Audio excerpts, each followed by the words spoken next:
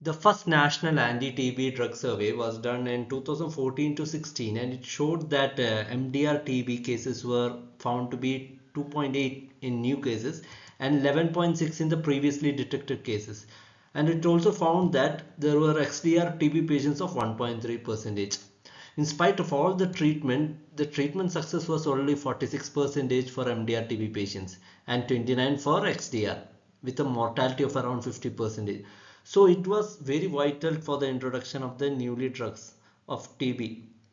So there came the drugs like Delamanid and uh, Bedaquiline. Welcome to my channel. I will be speaking on the topic of Delamanid classes, mechanism of action, pharmacokinetics, WHO recommendation, inclusion criteria and exclusion criteria. My name Dr. Mohammed Hafiz. Which class does it belong to? It belongs to the class of nitro-dihydroimidazole You can remember it as NDIO, which means New Delhi is old. Okay, as a mnemonic. NDIO, nitro-dihydroimidazole It is the first approved drug in this class and developed by the Otsuka Pharmaceuticals and it's approved for use in by the European Medicine Agency in November 2014 and by the RNTCP PMDT in 2017 on 14th of June. So what is the mechanism of action? It has dual mechanism. The first one is by blocking the synthesis of mycolic acid. A reactive intermediate metabolite is formed causing the inhibition of mycolic acid production and thereby the inhibiting the cell wall synthesis. The second action is by poisoning them with nitric oxide which the drug releases when metabolized. So it is a bactericidal drug and it's also a prodrug which is activated by the enzyme. Now coming to the route of administration, it comes as a 50 mg tablet and it is taken by orally along with food for the better absorption.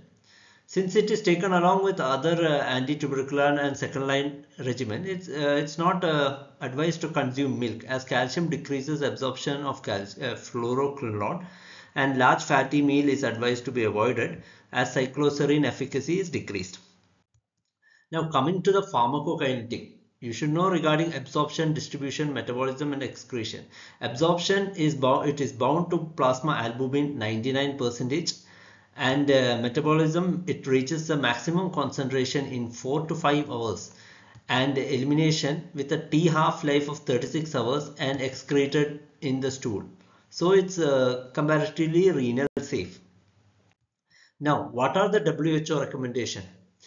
See, delamanid is added to the MDR TB regimen in adult TB patients conditional upon uh, if the patient adheres to the treatment uh, longer MDR TB regimen and careful selection of the patient who are likely to benefit. The informed consent to be taken, close monitoring of the patient is required and active drug uh, safety monitoring and management. So you can remember it as ABCD. They should adhere to the treatment. Benefit should be the consent, close monitoring and drug safety. So when is it added? When added to a WHO recommended regimen. In patients with MDR TB, when an effective longer regimen with four second line drugs in addition to pyrazinamide cannot be designed or if there is resistance to fluoroquinolone or second line injectable drug and if there is higher risk of poor outcome like drug intolerance, contraindication and if the patient has extensive or advanced disease. It's not recommended to use delamanid in shorter regimen uh, by the WHO. What is the inclusion criteria under NTEP? It includes adolescents of 6 to 17 years of age as well as adults of more than 18 years including people living with HIV not eligible for shorter MDR TB regimen whose original regimen it cannot be composed due to reasons of resistance or tolerability. And the other included individuals are the MDR TB patients with resistance to any or all fluoroquinolone or any second line injectables. It includes individuals with XDR TB patients. The final group of patients includes the mixed pattern drug resistant TB patients. These individuals include who are uh, failing any DRTB regimen or who shows drug intolerance or contraindications and uh, who return after interruption or shows any exclusion criteria for shorter regimen and who are with extensive or advanced diseases. Special caution is to be considered when giving the delamanid containing regimen to these patients. These individuals include patients with diabetes, liver or hepatic impairment, immunocompromised individuals, age more than 65, albumin less than 2.8, alcohol or substance abuse, and severe renal impairment. You can remember it as diabetic layer. Diabetes, liver impairment, immunocompromised, age, alcohol, and renal impairment. So what are the additional consideration on using delamanid? The patients with controlled stable arrhythmia, they can be considered after cardiac review. The patients should be postmenopausal for the past two years. It's advised to stop all QTC prolonging drugs if the interval is more than 500 milliseconds. And electrolyte imbalances due to potassium, magnesium and calcium, they are to be corrected. Females, they should not be pregnant or should be using a birth control method. Delamanid film coated tablets, they also contains lactose and so caution to be taken when patients with rare hereditary problems of galactose intolerance. You can remember it as A, B, C, D, E, F, G. A. Arrhythmia, postmenopausal, QTC prolonging drugs, electrolyte imbalance, females and galactose intolerance. So who are the individuals who are excluded?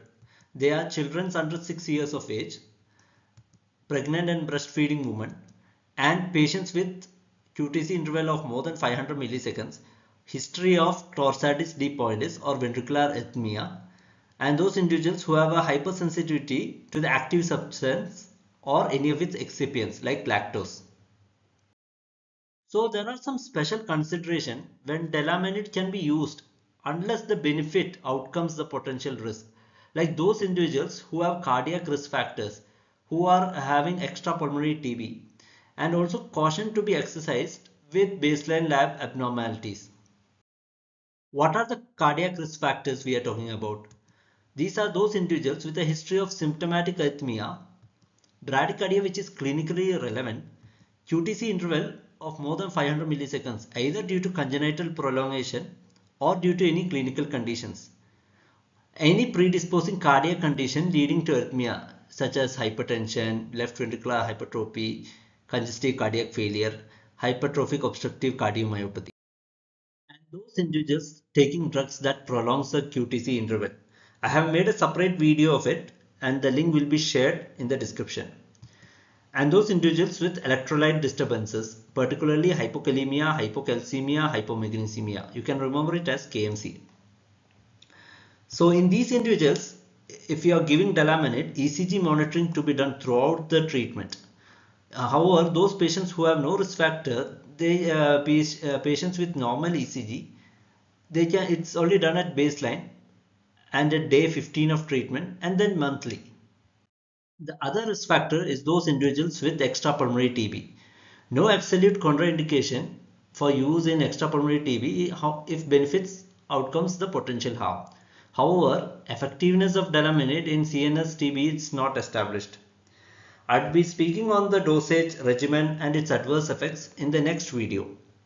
Keep watching. Thank you.